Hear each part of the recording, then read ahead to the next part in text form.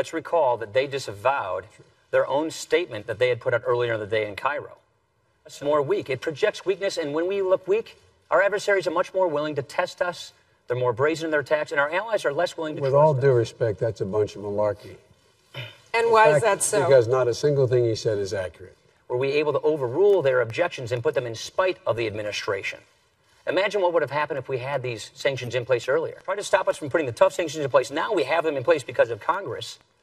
They say the military option's on the table, but it's not being viewed as credible. It's incredible.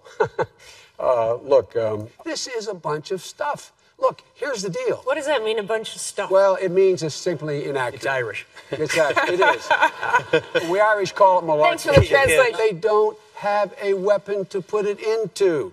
Let's all calm down a little bit here.